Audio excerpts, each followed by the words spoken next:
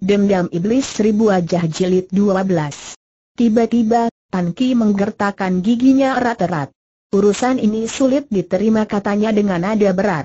Apakah kau demikian kukuh Tan Ki tertawa dingin? Meskipun Cai Hai juga termasuk orang jahat, dan belum bisa membedakan antara kemuliaan dan kebatilan, Oye Kang tidak memberi kesempatan kepadanya untuk berkata lebih lanjut, dia langsung menekas dengan suara membentak. Aku tidak percaya kau tidak menurut pada kata-kataku Tan Ki tersenyum datar. Baru saja dia ingin membantah, tiba-tiba dadanya terasa sesak. Nafasnya sulit, serangkum tenaga yang dahsyat telah menerpa ke arahnya. Oye Kang dijuluki Sam Jiu Santiansin.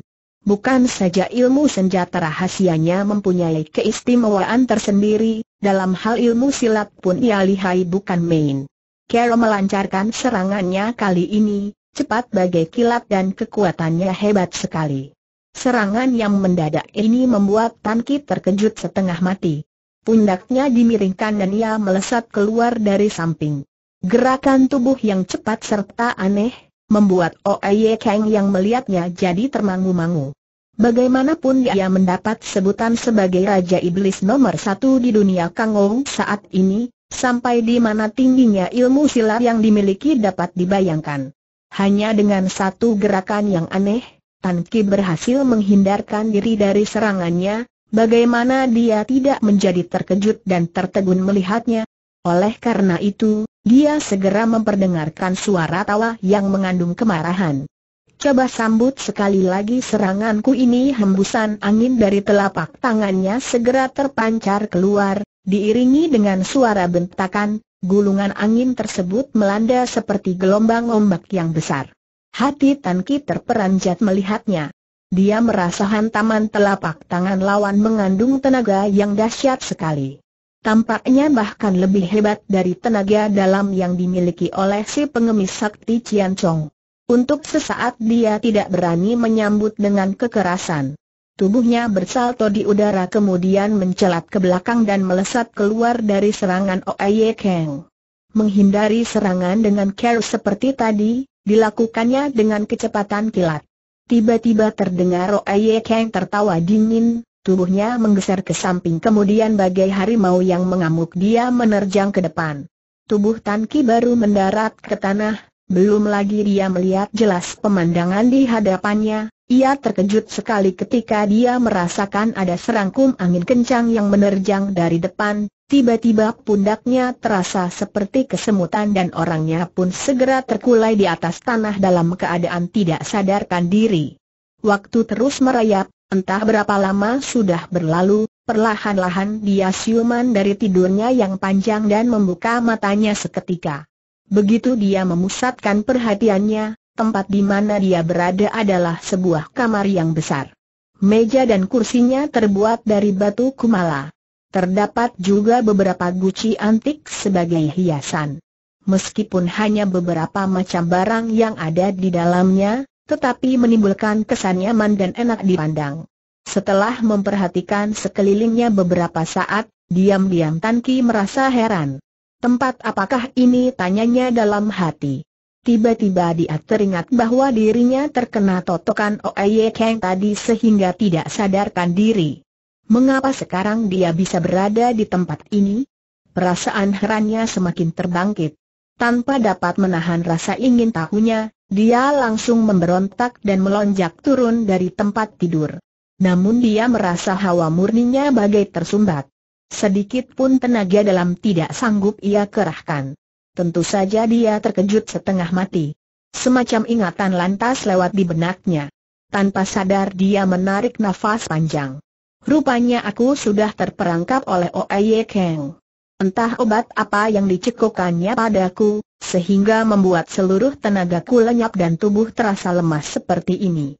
Tampaknya kali ini, riwayatku akan tamat, keluhnya seorang diri. Tiba-tiba telinganya menangkap suara langkah kaki yang mendatangi. Otomatis lamunannya jadi tersentak. Dia mendongakkan kepalanya memandang, seorang nenek tua bertubuh kurus dan berwajah jelek masuk ke dalam kamar dengan sebuah nampan di tangan. Tan Ki terkejut sekali, tanpa sadar dia berseru. Lo Chiam Pua, mengapa kau juga bisa berada di tempat ini rupanya nenek tua yang kurus dan rambutnya sudah penuh huban itu bukan lain daripada guru Meiling, Ciu Changpo. Tampak wajahnya datar sekali, mimik mukanya kaku, seakan tidak mendengar apa yang diucapkan oleh Tan Ki. Langkah kakinya seperti dihitung, setindak demi setindak dia maju dan berhenti di depan anak muda itu. Makanlah, dia meletakkan nampan yang dibawanya ke atas meja kemudian membalikan tubuhnya dengan perlahan-lahan keluar dari kamar tersebut. Gerakannya aneh sekali seperti sudah kehilangan kelincahannya di waktu lalu. Keadaannya sekarang lebih mirip mayat hidup. Wajahnya tidak memperlihatkan perasaan apa-apa seperti pikirannya telah menjadi kebal dan kehilangan kesadarannya. Hati Tan Ki menjadi panik. Harap Lo Ciampu tunggu sebentar. Entah mengapa tubuhku kehilangan tenaga sama sekali. Kalau tidak bisa bergerak, bagaimana aku bisa makan teriaknya gugup. Ciu Changpo tetap seperti orang yang indera pendengarannya kurang beres. Tanpa memperdulikan Tan Ki, dia langsung keluar dari kamar kemudian membelok dan hilang dari pandangan. Begitu paniknya Tan Ki sampai digigitnya bibir sendiri berulang kali. Lalu tampak dia menarik nafas panjang. Bagaimana baiknya? Ingin mendapat sedikit keterangan darinya saja tidak mungkin, gumamnya seorang diri. Dia merasa perutnya mengeluarkan suara seperti air yang beriak-riak. Haus dan lapar menyiksanya. Dengan mata terbelalak dia menatap ke arah nampan. Tampangnya seperti orang yang tidak berdaya. Bau harum nasi dan daging terpancar keluar dari kotak makanan yang ada di atas nampan. Keharuman yang menusuk dan hanya dapat ditatap itu membuat perutnya semakin keroncongan, hampir-hampir saja dia jatuh pingsan kembali saking laparnya. Diam-diam dia menghembuskan nafas panjang. Dia berusaha untuk mengalihkan pikirannya. Kalau tidak salah, di atas genting Cui Sian Lo, Ciu Changpo terkena pukulan si pengemis sakti Cian Chong sehingga terluka parah. Kemudian dia dibawa oleh Oye Kang, AKH, jangan-jangan tempat ini merupakan kediaman iblis itu? Mungkinkah dia telah mencekoki semacam obat kepada Chiu Changpo yang mana dapat membuat kesadarannya jadi hilang pikirannya tergerak, semakin direnungkan rasanya dugaan itu semakin benar. Saat itu juga seluruh tubuhnya dibasahi oleh keringat dingin. Dia tidak tahu apa yang akan dilakukan Oye Kang terhadapnya. Kalau caranya sama seperti Chiu Changpo, yakni meminumkan sejenis obat yang dapat merubahnya seperti orang-orangan yang kaku, yang tidak mempunyai perasaan maupun pikiran sama sekali, maka seumur hidup ia akan sama saja berada dalam alam antara manusia dan setan, selamanya tidak akan muncul dari laut penderitaan. Berpikir sampai di sini, hatinya semakin takut dan terkesiap. Saking paniknya, ingin rasanya menegakkan badannya dan kabur dari tempat itu tapi keempat anggota tubuhnya tetap tidak mau diajak bekerja sama. Tanpa sadar, lagi-lagi dia menarik nafas panjang. Akhirnya dia memejamkan mata dan tidak mau berpikir lebih lanjut lagi. Setelah agak tenang, pikirannya malah menjadi peka. Diam-diam dia menghaparan ilmu pernafasan yang terdapat dalam kitab yang diambilnya dari kuburan para ketua Ti Chiang Pang. Kurang lebih sepeminuman teh kemudian, Tiba-tiba dia menggeleng-gelengkan kepalanya dan menggumam seorang diri. Sayang sekali aku tidak pernah mempelajari ilmu Lwe Kang yang benar. Kalau tidak, ilmu pernafasan dan cara menghimpun hawa murni tingkat tinggi yang ada dalam kitab itu pasti bisa membantu aku menembus urat darah dan menyembuhkan. Belum lagi kata-katanya selesai, kembali telinganya menangkap suara langkah kaki orang yang menuju ke arahnya. Dia mengira tentunya Chiu Chang Po yang balik kembali, dengan kesal dia memalingkan wajahnya dan tidak mau melirik sedikit pun. Tiba-tiba dia mendengar suara ratapan serta tangisan. Adik, seiring angin yang berhembus, tercium bau yang harum. Sesosok tubuh perempuan tahu-tahu telah menelungkup di atas dadanya dan menangis tersedu-sedu. Pertama-tama Tan Ki tertegun, dia merasa heran, Ketika dia melihat jelas siap perempuan itu, rasa tertegunnya berubah menjadi terkejut. Tanpa sadar dia berseru. Mengapa kau juga datang ke sini begitu melihat Tan Ki? Hati perempuan itu langsung diserang oleh kegembiraan yang meluap-luap. Rasa sedih dan gundahnya selama beberapa hari, bagai terlampias keluar dalam waktu seketika. Tentu saja dia tidak mendengar jelas ucapan Tan Ki. Anak muda itu menarik nafas panjang-panjang. Dia memaksakan diri untuk mengangkat sebelah lengannya dan menggenggam pergelangan tangan perempuan itu. Cici, jangan menangis lagi. Urusan apa pun sulit dibereskan dengan derayan air mata saja, katanya menghibur. Setelah menangis beberapa saat, perempuan itu mendongakkan wajahnya yang masih basah dengan air mata. Apakah kau tidak membenci aku? Kau tidak kesal karena aku mengingkari janjiku sendiri? Lagi pula pada waktu itu aku tidak tahu bahwa orang itu adalah dirimu, sehingga menggunakan cara yang begitu rendah yakni ilmu tarian iblis dan membuat dirimu terluka, Tan Ki tidak membiarkan dia melanjutkan kata-katanya. Dia segera menukas. Urusan yang sudah lewat tidak perlu dibicarakan lagi.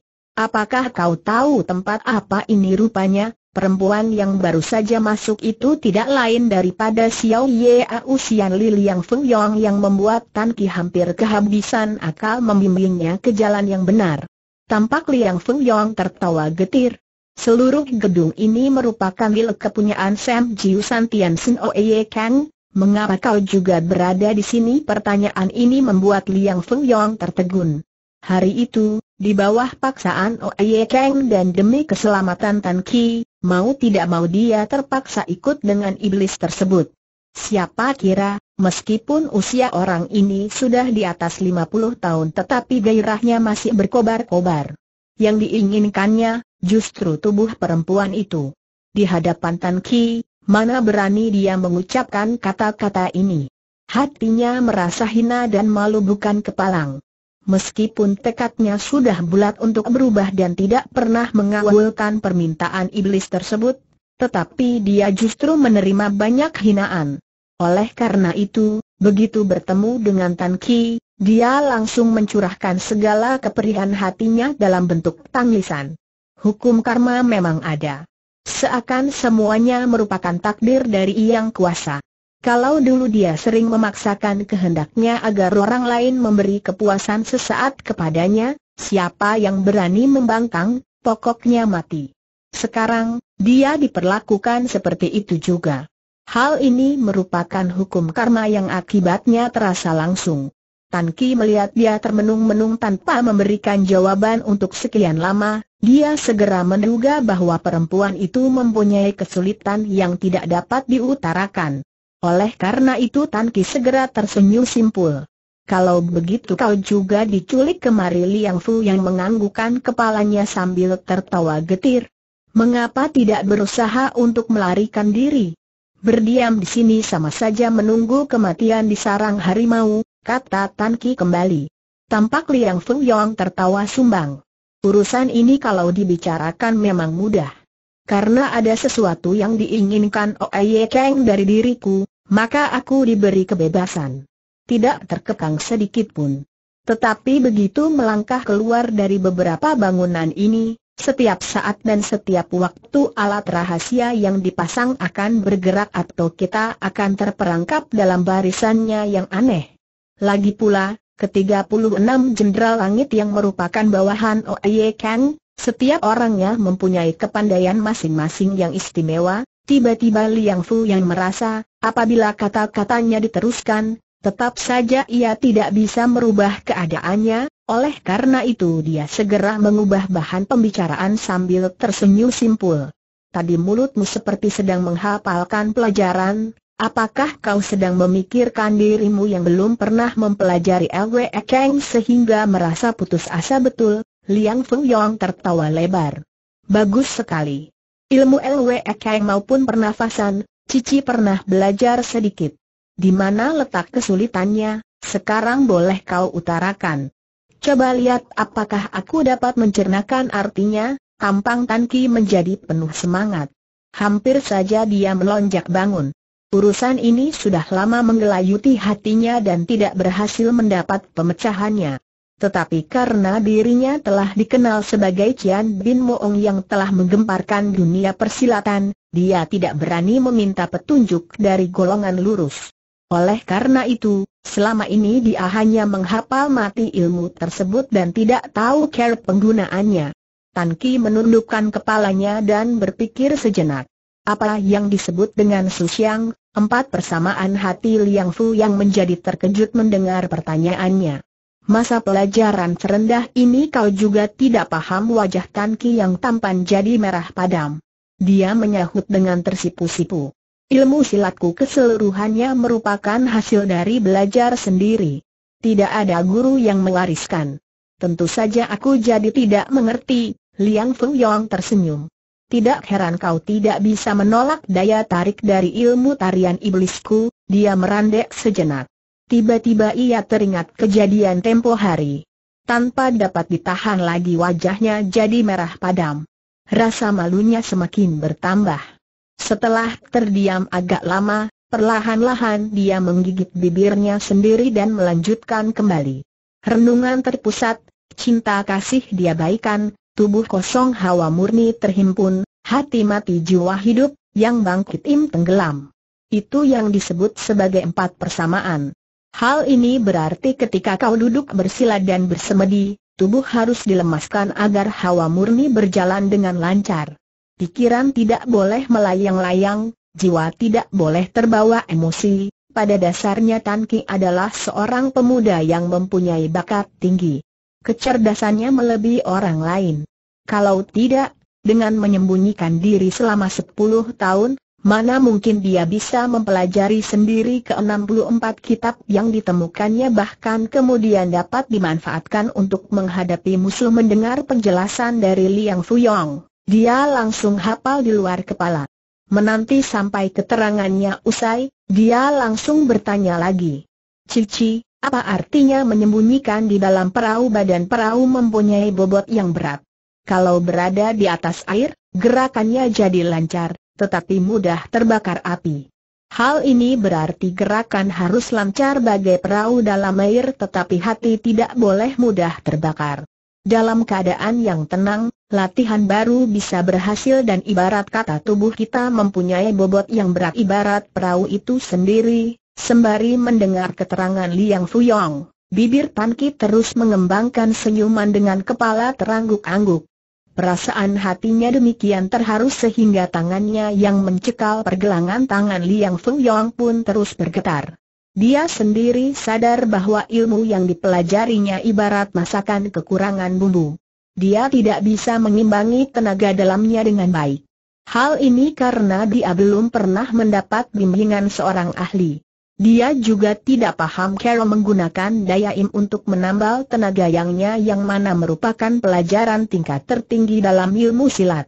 Meskipun dia sudah hafal luar kepala kitab yang ditemukannya, tapi tanpa adanya pengarahan dari seorang guru, dia pun tidak mempunyai kesempatan untuk melatihnya. Saat ini, lewat penjelasan Liang Fuyong, kesadarannya menjadi terbangun. Tanpa dapat ditahan lagi, bibirnya terus tersenyum. Otaknya bagai disengat aliran listrik, banyak bagian yang tadinya kurang paham menjadi terang seketika. Begitu terharunya Tan Ki sampai air matanya menetes dengan deras. Liang Fu yang mengeluarkan sapu tangan dari saku pakaiannya. Dengan penuh perhatian, dia mengusap air mata yang membasahi pipi pemuda tersebut. Tidak ada hujan, tidak ada angin malah menangis, Memangnya tidak takut menjadi bahan tertawaan kalau sampai ada yang melihatnya, dengan rasa haru Tan Ki menyaut. Cici, kunci pelajaran Lwe Keng dan pernafasan ini mempunyai kaitan yang erat dengan diriku. Aku ingin menggunakannya untuk membalaskan dendam ayahku. Aku, aku, terlalu bahagia, jari jemari Liang Feng Yong yang lentik segera menutup mulutnya dengan lembut dia mencegah Tan Ki berkata lebih lanjut. Bibirnya mengembangkan seulas senyuman yang manis. Aku tahu kau pasti ingin mengungkit segala budi, kasih, membuat orang yang mendengarnya menjadi salah tingkah. Lebih baik kau hemat saja tenagamu itu, berkata sampai di sini, dia langsung teringat keadaannya sendiri yang terkenal jalang dan rendah. Bahkan keadaan yang memalukan inilah yang membuat dirinya menjadi terkenal. Mana berani dia mengharap cinta kasih dari adiknya, Tan Ki. Berpikir sampai di sini, segulungan perasaan yang pedih segera menyelimuti hatinya. Tanpa dapat ditahan lagi, air mata kepiluan mengalir dengan deras. Dengan tersendat-sendat dia melanjutkan kata-katanya, Cici juga tidak mengharapkan balasan darimu. Asal di sanubarimu masih terselip bayangan Cici, hati ini sudah puas sekali, melihat Liang Feng Yong tiba-tiba menangis dengan terisak-isak dan sebelumnya tertawa senang, dia malah menjadi kalang kabut. Dengan termangu-mangu Tan Ki memandangnya lekat-lekat. Dia tidak berani mengajukan pertanyaan apa pun.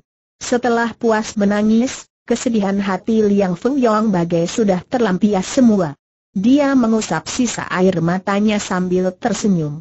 Adik, kalau kau masih mempunyai kesulitan lain yang belum kau mengerti, cepat katakan. Jangan sampai, belum lagi perkataannya selesai, tiba-tiba telinga mereka menangkap suara tertawa yang panjang. Keduanya jadi terkejut setengah mati. Mereka segera memalingkan wajahnya. Entah sejak kapan, di depan pintu sudah berdiri Sam Jiu Santian Sin Oye Keng. Ilmu orang ini sudah mencapai taraf tertinggi. Gerakan tubuhnya bagai hembusan angin. Kedatangannya tidak menimbulkan suara sedikit pun.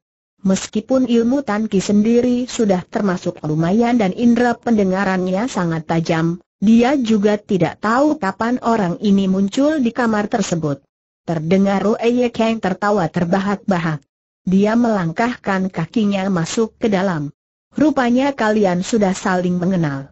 Hal ini malah kebetulan, aku tidak mengakukan lidahku ini untuk memperkenalkan kalian, katanya sambil cengar-cengir. Pertama kali dia melihat Tan Ki, yakni ketika dia membawa pergi Liang Feng Yong. Namun saat itu Tan Ki merias dirinya menjadi laki-laki setengah baya. Sekarang Tan Ki sudah kembali pada wajah aslinya. Oleh karena itu, dia tidak mengetahui bahwa kedua orang yang pernah ditemuinya itu merupakan orang yang sama. Tan Ki tertawa dingin. Baru saja dia ingin mengatakan sesuatu, tiba-tiba dia melihat tubuh Yang Feng Yong bergetaran, mimik wajahnya menyiratkan perasaan takut yang dalam. Kepalanya tertunduk, tangannya terkulai. Bahkan bernafas pun tidak berani kuat-kuat. Tampaknya dia takut sekali melihat orang ini. Hati Tan Ki merasa heran bukan kepalang, kata-kata yang tadinya sudah siap dilontarkan jadi tertelan kembali. Dengan wajah datar dia melihat perkembangan yang akan dihadapi. Begitu matanya beralih, tiba-tiba wajah Oye Kang berubah garang. Suaranya pun dingin sekali. Untuk apa kau berdiri di situ? Barusan aku membawa seseorang, sekarang ada di ruangan sebelah cepat ke sana dan layani dia bentaknya dengan suara keras. Mendengar ucapannya, wajah Liang Feng Yong berubah hebat. Hawa amarahnya hampir meledak, tetapi dia seperti teringat akan sesuatu hal, sehingga hatinya menjadi bimbang. Kemudian dia mengangkat kepalanya perlahan-lahan dan melirik ke arah Tan Ki. Dengan perasaan berat dia melangkahkan kakinya keluar dari kamar itu lirikan mati menjelang kepergiannya seakan mewakili ribuan kata-kata yang ingin diucapkan. Juga tersirat cinta kasihnya yang di alam.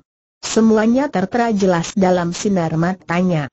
Tanki sendiri seakan menemukan sesuatu rahasia dengan tidak diduga-duga. Hatinya bergetar, nyeri dan ngilu. Tanpa sadar, dia memperhatikan bayangan punggung Liang Feng Yong dengan termangu-mangu.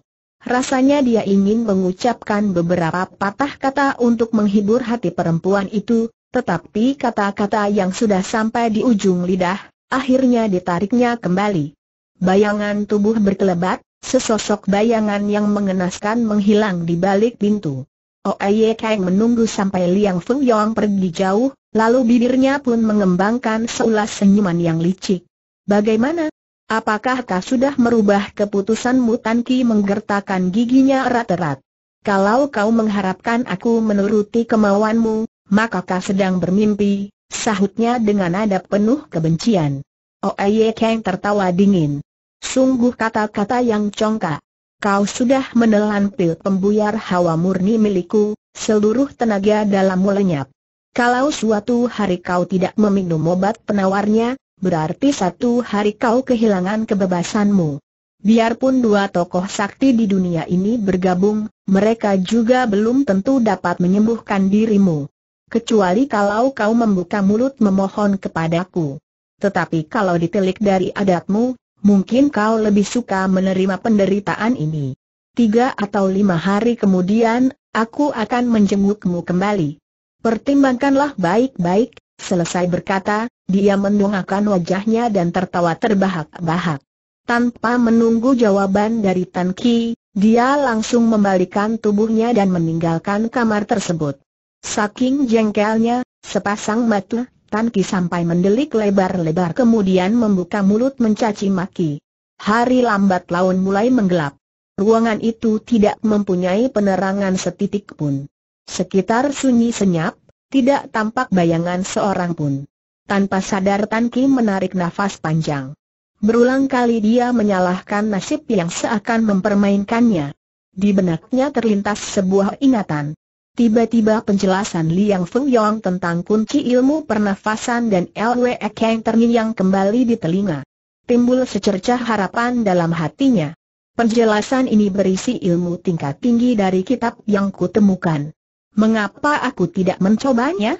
Siapa tahu di dalam kesalahan malah terselip kebenaran yang mana dapat menyembuhkan penyakit aneh yang reaksinya lambat ini katanya kepada diri sendiri. Dengan membawa pikiran demikian, cepat-cepat dikosongkannya pikiran dan ia memejamkan mata untuk berlatih. Begitu perasaannya tenang, indera mata maupun pendengarannya menjadi tajam. Entah kapan, tiba-tiba telinganya menangkap suara tawa cekikikan yang terpancar sayup-sayup dari ruangan sebelah setelah didengarkan dengan seksama. Tan Ki segera tahu bahwa suara tawa tadi berasal dari ruangan sebelah kiri. Jumlahnya tidak lebih dari dua orang. Untuk sesaat dia jadi tertegun. Dia merasa suara itu tidak asing dalam pendengarannya, tetapi dalam keadaan panik, dia malah tidak dapat mengingatnya kembali. Sementara hatinya masih terkejut dan terpana, tiba-tiba dia mendengar Liang Fu yang menarik nafas panjang. Moai Moai, setelah sampai di tempat seperti ini, kau masih mempunyai kegembiraan dari ruangan sebelah kiri sayup-sayup terdengar suara tawa yang merdu, disusul dengan suara sahutan seorang gadis. Ketika paman berpakaian hijau itu membawa aku kemari, memang aku merasa agak takut. Kemudian dia mengatakan bahwa tempat ini bagai istana, di dalamnya banyak permata serta taman yang indah-indah. Pokoknya penuh dengan pemandangan fantasi seperti istana para dewata. Dia juga mengatakan bahwa di sini banyak permainan yang aneh-aneh, maka aku tidak merasa takut lagi. Kau percaya pada ucapannya paman berpakaian hijau itu memperlakukan aku dengan lembut.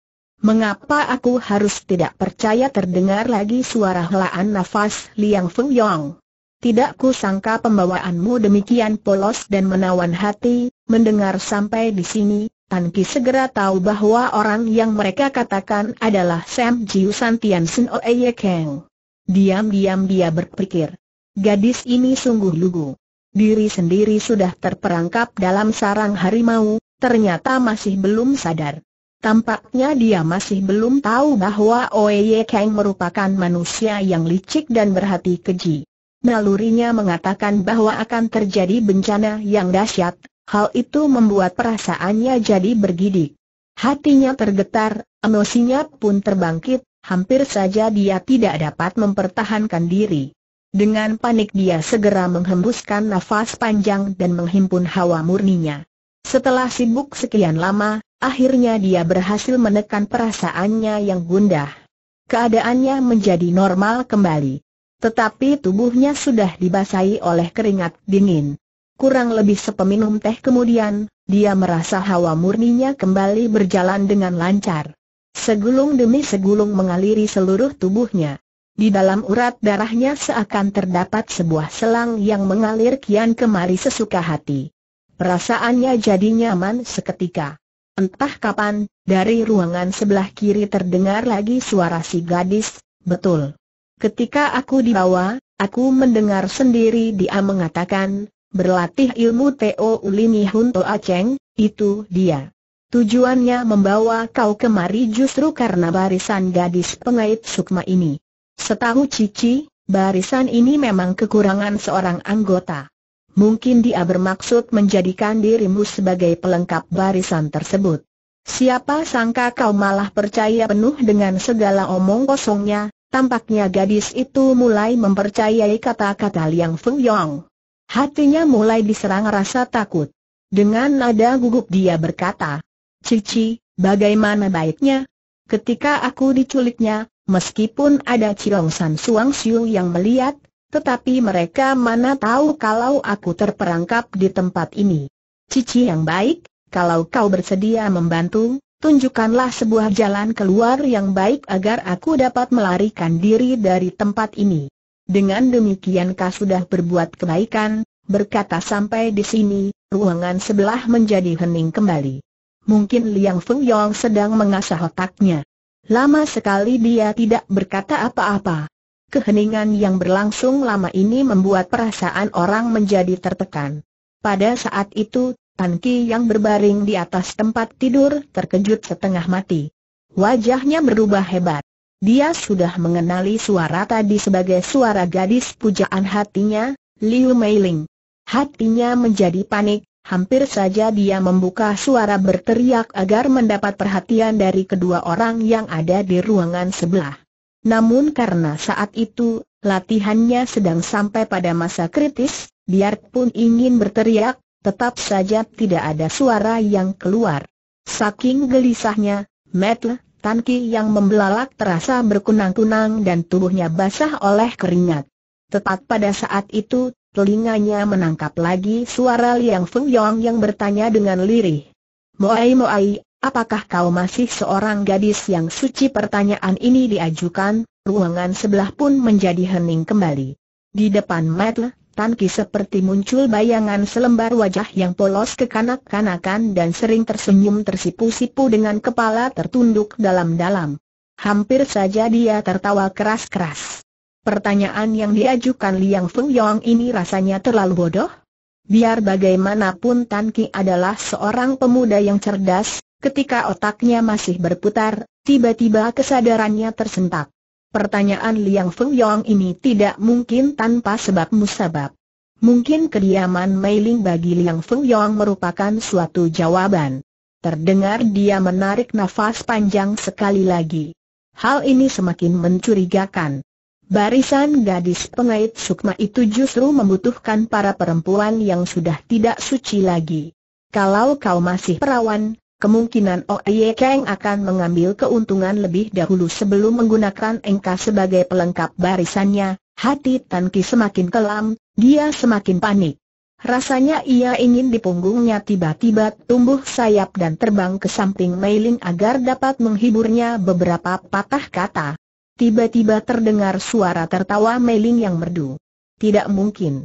Kalau Xiao Moai memilih mati daripada menuruti kehendaknya, dia juga tidak bisa berbuat apa-apa, Liang Feng Yong menghentakkan kakinya sambil menarik nafas dalam-dalam.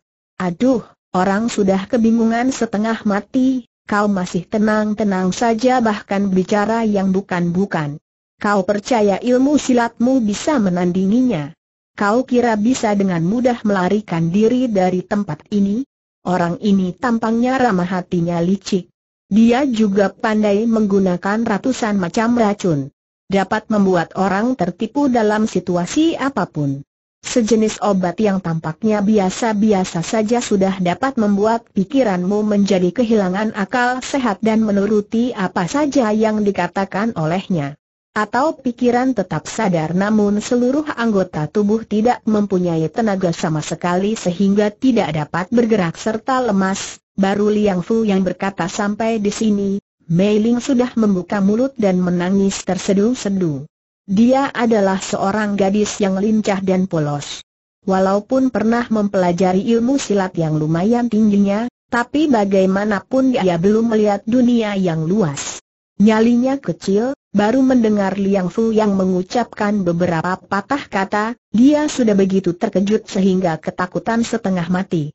Apalagi berpikir tentang urusan cinta kasih antara laki-laki dan perempuan, apabila dia benar-benar diperkosa, bagaimana dia harus menghabiskan sisa hidupnya di kemudian hari? Semakin dia bayangkan hatinya semakin takut, suara tangisnya pun semakin keras dan air matanya tercurah bagai hujan. Tan Ki juga panik sekali sampai kening serta dahinya basah oleh keringat. Tubuhnya terbaring di atas tempat tidur, matanya mendelik menatap langit-langit kamar. Hatinya gelisah dan perih. Di benaknya seperti muncul bayangan-bayangan. Dia mulai membayangkan yang bukan-bukan. Dia seperti melihat tubuh Meiling yang telanjang bulat berdiri di hadapannya. Sesosok bayangan manusia berwarna hitam sedang memaksakan kehendak setan di batinnya. Tanpa dapat ditahan lagi, Tan Ki menguraikan air mata. Dia seperti melihat orang itu sedang memperkosa Meiling. Tiba-tiba dia merasa aliran darahnya seperti bergejolak dan hampir saja termuntah dari mulutnya. Untuk sesaat tenggorokannya menjadi dingin dan matanya gelap. Nyaris dia jatuh tidak sadarkan diri. Sayup-sayup dia seakan mendengar suara ratapan mailing yang menusuk hatinya dalam-dalam. Justru ketika perasaannya gundah dan hatinya gelisah, telinganya menangkap suara langkah kaki seseorang yang menuju ke ruangan sebelah. Kemudian terdengar pula suara tawa Oye Kang yang seperti orang gila. Fuyong, apakah kau sudah menasehatinya Aih? Lo Chiampu sebagai seorang angkatan tua di dunia bulim, untuk apa memaksa seorang gadis yang masih suci bersih? Oye Kang tertawa seram. Kau berani mengajari aku tidak? Tidak berani, Tan Ki mendengar suara sahutannya setiap kali selalu agak gemetar. Hal ini benar-benar di luar dugaannya. Kalau berani membantah perbuatannya, serta bermaksud menolong Meiling, Mengapa setelah bertemu dengan iblis ini, dia begitu ketakutan pikirnya dalam hati. Tiba-tiba terdengar suara mailing yang merdu. Biar mati pun, kau tidak akan menuruti kata-katamu Moai Moai jangan menimbulkan masalah, kata Liang Feng Yong gugup. Suara bentakan dan gerakan kedua orang itu terdengar hampir dalam waktu yang bersamaan. Mungkin dalam hati Mei timbul rasa benci sehingga dia nekat menerjang akhirnya malah ditotok oleh Oye Kang. Justru karena hal ini pula, kemarahan dalam dada Oye Kang jadi terbangkit. Fuyong, ikat dia teriaknya. Liang Fuyong panik sekali. Apa yang akan kau lakukan Oye Kang tersenyum simpul. Senyumnya tersirat keinginan hatinya yang menakutkan. Malam ini rembulan bersinar indah. Kau keluarlah, aku tidak memerlukan pelayananmu lagi di sini, Liang Feng Yong mengalihkan pandangannya. Mei Ling terkulai di atas tanah dalam keadaan tertotok, dia tidak bergerak sama sekali. Namun orangnya masih sadar. Wajahnya yang cantik tampak murung, dua bulir air mata membasahi pipinya. Kecantikannya semakin mempesona, bak bunga-bunga yang mekar di pagi hari. Tanpa dapat ditahan lagi, Liang Fu yang menarik nafas panjang. Usia Lo Chiampu sudah cukup tua, ternyata masih tidak tahu malu bisa menyimpan keinginan untuk merusak sekuntum bunga yang baru mekar, Liang Fu Yong sudah mendapat nasihat dari Tan Ki. Walaupun hanya beberapa hari, tetapi sudah mampu membedakan antara kebaikan dengan kejahatan. Hatinya menjadi sadar. Maka ketika mengucapkan kata-kata tadi, Suaranya terdengar tegas dan mengandung kemuliaan hatinya tampaknya Oye Kang merasa sindiran Liang Feng Yong barusan benar-benar di luar dugaan. Dia jadi tertegun sekian lama kemudian membentak dengan nada marah. Tutup mulutmu lengan kirinya terangkat, dengan gerakan secepat kilat, dia menggerakkan tangannya menggampar. Kaki Liang Feng Yong sampai goyah terkena pukulannya, dia tergetar mundur dua langkah. Pipi sebelah kirinya langsung merah membengkak dan terlihat bekas guratan telapak tangan. Sejak dilahirkan oleh ibunya, Liang Feng Yong mana pernah ditampar orang. Kali ini mendapat pukulan Oye Kang, dia jadi tertegun beberapa saat. Hatinya terasa perih dan tanpa ditahan lagi, air matanya mengalir turun dengan deras membasahi pipinya. Tetapi dengan keras hati dia menggertakkan giginya, dia berusaha untuk tidak mengeluarkan suara ratapan atau isak tangis sedikit juga. Malah dia memberanikan dirinya berkata, adik ini masih muda. Hatinya polos dan lugu. Jiwanya masih belum mengerti kekotoran manusia yang licik seperti dirimu. Kalau kau sampai mencemarkan kesucian dirinya, bukankah berarti kau menghancurkan kebahagiaannya seumur hidup? Kalau kau memang menginginkannya, mengapa tidak mengincar diriku saja kau kira aku tidak berani bentak Oye Keng? Tubuhnya berkelebat, sembari melangkahkan kaki, lengannya terulur. Sekali loncat dia langsung memeluk pinggang Liang Feng Yong yang ramping dan menatapnya lekat-lekat. Dari sinar matanya terpancar kebuasan serta kekalapan seekor binatang yang kelaparan. Sinar itu demikian menakutkan. Liang Fu yang merasa hatinya tercekat, kaki tangannya menjadi dingin seketika. Hatinya sadar bahwa segelombang badai topan akan melanda dirinya. Tidak mungkin baginya untuk menghindarkan diri. Dengan panik dia memejamkan matanya erat-erat. Dua butir air mata mutiara justru berderai lagi pada saat seperti ini. Meiling dalam keadaan tertotok, tubuhnya terasa lemas dan ngilu. Dia tidak dapat bergerak sama sekali.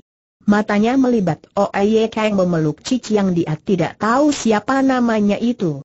Baru saja dia membuka mulut dengan maksud ingin mencaci maki, tiba-tiba dia melihat Oye Kang menundukkan wajahnya dan mencium Cici tersebut dengan buas. Hatinya terperanjat sekali, cepat-cepat dia memalingkan wajahnya ke tempat lain. Wajahnya mendadak menjadi panas. Dia merasa jengah sekaligus benci. Begitu dia memalingkan wajahnya, tiba-tiba terasa serangkum angin yang kuat menerjang ke arahnya dan tahu-tahu tubuhnya sudah ditendang oleh Oye Kang sehingga menggelinding keluar dari kamar. Terdengar suara alat rahasia menimbulkan bunyi yang berderak-derak. Dua bilah pintu rahasia yang terbuat dari besi merapat perlahan-lahan. Mei Ling jadi tergetar oleh perubahan yang mendadak ini. Untuk sesaat dia menjadi bingung tidak karuhan. Ketika lambat laun dia mengerti maksud serta keinginan Oye Kang, bayangan Liang Feng Yong sudah lenyap di balik pintu besi tersebut. Tanpa dapat ditahan lagi, dia segera menangis meraung-raung tiba-tiba terlihat bayangan berkelebat, Tan Ki sudah menerjang ke tempat itu. Tampak mimik wajahnya menyiratkan penderitaan yang luar biasa. Dia sama sekali tidak memperdulikan Mei Ling. Menghambur sampai di depan pintu, dia langsung mengulurkan tangannya mendorong. Jangan kata terbuka, bergeming saja tidak. Pada saat itu dia baru merasa tangannya terasa dingin. Tentu saja dia terkejut setengah mati. Sekarang dia baru melihat kalau pintu itu terbuat dari besi yang kokoh dan tebal. Dalam waktu yang bersamaan, harapannya yang menggebu-gebu untuk menolong Liang Feng Yong hampir surut secara keseluruhan. Hidungnya terasa perih, air matanya pun berderai. Rupanya Tan Ki berhasil menghilangkan pengaruh obat yang diberikan Oye Kang dengan ilmu pernafasan yang kuncinya diberitahukan oleh Liang Feng Yong. Mula-mula dia mengalami kesulitan. Beberapa kali dia mencoba namun tidak terlihat hasilnya. Justru pada saat itulah dia mendengar jeritan Liang Feng Yong. Dia segera tahu sesuatu yang tidak beres sedang berlangsung, juga tidak tahu dari mana datangnya kekuatan, dia memberontak sekuatnya dan langsung menerjang keluar. Sayangnya pengaruh obat yang diberikan Oye Kang tidak hilang secara tuntas tenaganya hanya cukup kuat untuk berlari. Dia tahu apa yang dilakukan oleh Liang Feng Yong adalah pengorbanan dirinya untuk menolong Mei Ling dari aib. Perbuatannya ini membuat orang menaruh hormat padanya. Tetapi memikirkan perempuan itu yang masih terkurung di dalam kamar dan apa yang akan dilakukan Oye Kang kepadanya, darah dalam tubuh Tan Ki seakan bergejolak. Hatinya terasa sedih dan sakit. Dia juga merasa kebencian memenuhi kalbunya. Meskipun Meiling adalah gadis pujaannya, tetapi pada saat ini dia tidak memperdulikannya lagi. Setelah mengetahui bahwa kedua belah pintu tersebut terbuat dari bahan besi, dia tertegun sejenak, tiba-tiba dia membuka mulut dan berteriak sekeras-kerasnya, Cici, Cici, apakah kau mendengar perkataanku dalam keadaan panik serta sakit hati? Suara teriakannya menjadi semakin keras dan nyaring, memecahkan keheningan seluruh ruangan dan bahkan bergema ke mana-mana. Setelah berteriak satu kali, suasana di dalam kamar itu tetap sunyi senyap. Tidak terdengar sahutan dari Liang Feng Yong. Semacam firasat buruk melintas di hati kecil Tan Ki. Tanpa terasa tubuhnya jadi menggigil. Dia berteriak sekali lagi, Cici, jawablah, aku Tan Ki tetap tidak ada sahutan dari dalam kamar. Tiba-tiba Mei Ling juga merasa telah terjadi sesuatu yang tidak beres, air matanya tidak tertahankan lagi. Dia menangis terseduh-seduh. Ratapan isak tangis menambah kepedihan suasana di luar kamar. Hati Tan Ki semakin panik. Dengan kalap dia terus berteriak, Cici, Cici, dengarlah ucapanku. Jangan biarkan tua bangka itu menghinamu nafasnya mulai tersengal-sengal. Namun dia tidak berhenti. Dia seakan takut Liang Feng Yong tidak mendengarkan kata-katanya. Cici, apakah kau mendengarkan kata-kataku? Cici, Apakah kau dengar air mata mengiringi suara teriakannya? Dia menggerakkan sepasang kepalan tangannya dan memukuli pintu besi tersebut. Blam! Blam! Blam! Suara gedoran itu bagai irama kepedihan yang menyayat hati Meiling. Pintu besi itu juga menjadi batas antara dua alam. Tan Ki menjadi kalap. Tingkah lakunya seperti orang yang tidak waras lagi. Dia terus berteriak, menggedor, meraung-raung, Cici, jangan biarkan tua bangka itu menghinamu. Cici, jangan biarkan tua bangka itu melakukan hal yang tidak senonoh kepadamu dalam keadaan yang kacau dan bising itu, sayup-sayup terdengar isak tangis berkumandang dari dalam kamar. Tan Ki merasa hatinya pedih tidak terkira. Keringat dan air mata membaur menjadi satu membasahi pipinya. Suaranya semakin lama semakin parau, tetapi dia terus meneriakkan kata-kata yang sama. Jangan biarkan dia menghinamu.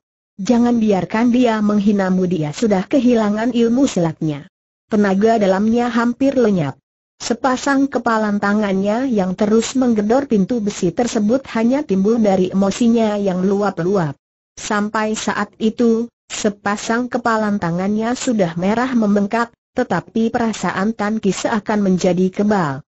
Dia tidak merasa sakit sedikit pun. Hatinya lah yang sakit. Akhirnya dia terkulai dan duduk di atas tanah. Tampangnya kusut. Penderitaannya tersirat jelas di wajah. Dia juga tampak lelah sekali, perlahan-lahan dia menyandar pada pintu besi dan mengalirkan air mata kepedihan. Tiba-tiba, serangkum suara tawa yang keras dan panjang berkumandang dari dalam kamar. Kemudian dia disusul dengan jeritan histeris Liang Feng Yong. Setelah itu hening kembali. Setelah mendengar suara jeritan Liang Feng Yong barusan, benak Tan Ki bagai disengat aliran listrik. Otaknya seperti pecah berhamburan seiring dengan suara tersebut. Untuk sesaat dia menjadi termangu-mangu, habislah sudah.